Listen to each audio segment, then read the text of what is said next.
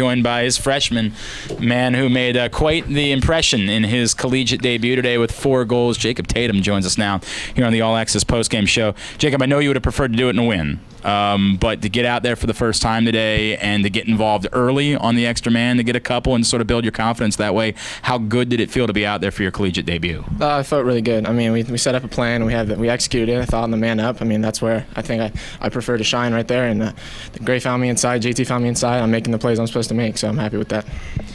One question: the backhand goal. Have you scored a goal like that before? Uh, I do. I try to practice that a little bit. Just gives me a little extra look, mm-hmm. just to third round. So we're pretty well. it was pretty, pretty yeah, natural. So pretty, you've done it before. Pretty nifty look, Jacob. Um, it seemed like it really built your confidence what you did on the extra man to then get going as the game went along in even strength situations, and it felt like as the game went went along, you were willing to say, "Hey, look, I'll be the guy. You know, I'll be the one to try to, to lift us, and I don't care that I'm a freshman." Is that sort of how you were feeling as the game went along, and do you think you can carry that with you moving? forward. Yeah, I mean, I was just put in the position to make the right play, and then uh, anyone could have been in that for that shot that I made. I mean, anyone's able to make that shot, so it was just happened to be me. But glad I could step up and help the team, and just trying to get the win for us. So doing what I can.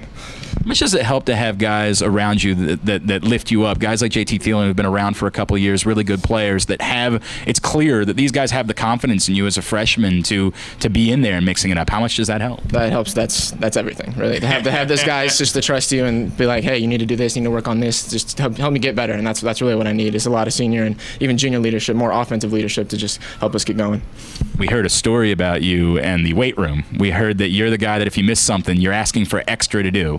Why is that, and how much do you think that helps carry over to the field? Uh, I mean, I'm just a big work ethic guy. I'm trying to extra. I just want to get better. I mean, I, I want to win. Obviously, didn't do that today, but long season ahead, and so I'm just trying to keep forward and keep pushing the team to the win how much do you think you guys will be able to take this moving forward? You, you, look, I get it. You wanted to win, but battling the number four team in the country down to the final seconds, how much do you think this is going to help you moving forward against a really difficult non-conference schedule? Uh, that's big. I mean, battling number four, we're right there with them, and that's just big to have have that success and confidence going in to, to further games and just progresses and progresses and progresses. I have you know, Peter Green told me that uh, he didn't even travel for his first game, didn't get on the field for his first game, and ended up being a national champion here. So you're already a little bit ahead of Peter Green at this point. I think the path looks pretty good for you right now, Jacob Tatum. Thank you very much. Hey, Jake, thanks for coming up here and hang, hanging out with us. Appreciate it. No problem. Yeah, have a good one. Jacob Tatum, Stevenson freshman, four goal game today. Not too bad. Obviously, would have liked to have it in a winning effort, but a pretty quality debut for him here at, uh, at Stevenson University.